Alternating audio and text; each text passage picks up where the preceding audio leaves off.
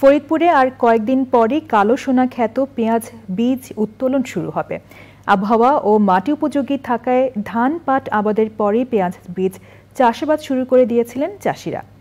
মশলা জাতীয় ফসলের শতকরা চার টাকা হারে ব্যাংক ঋণ সুবিধা পাচ্ছেন বীজ উৎপাদনকারীরা। ফরিদপুর থেকে শাহাদাত হোসেন তিতুর পাঠানো তথ্য ও ভিডিওচিত্রে সুদীপ্তা মাহমুদের রিপোর্ট। ফরিদপুর সদর উপজেলার অম্বিকাপুর ইউনিয়নের গোবিন্দপুর গ্রামে মাঠের পর মাঠে সাদা কদম ফুলের মতো পেঁয়াজ বীজ ফলে আছে। আর কদিন পরই সাদা ফুল থেকে কালো সোনাখ্যাত পেঁয়াজ বীজ বের হবে। কিছুটা ঝুঁকি থাকলেও এ অঞ্চলের মাটির গুণাগুণ বংশ পরম্পরায় পেঁয়াজ বীজ আবাদ করে লাভবান হয়ে থাকেন এখানকার চাষিরা। আমরাও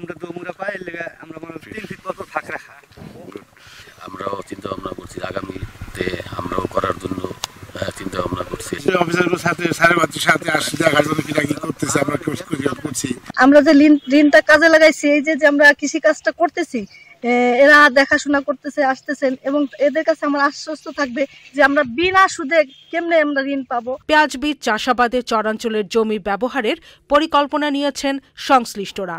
পেঁয়াজ সংরক্ষণের জন্য সরকার অনেকগুলো সংরক্ষণাগার করে দিয়েছে বিএডিসির মাধ্যমে, এবং একই সাথে এখানে বাণিজ্য মন্ত্রণালয় একটি বহুতল ভবন পেঁয়াজ সংরক্ষণের জন্য করে দেওয়ার জন্য সম্ভাব্যতা যাচাই করছে, এবং আমরা আশা করছি আগামী এক বছরের মধ্যে বহুতল ভবন বিশিষ্ট একটি পেঁয়াজ সংরক্ষণাগার হবে। এবছর ফরিদপুরে আঠারোশো সাতষট্টি হেক্টর জমিতে পেঁয়াজ বীজ আবাদ করা হয়েছে।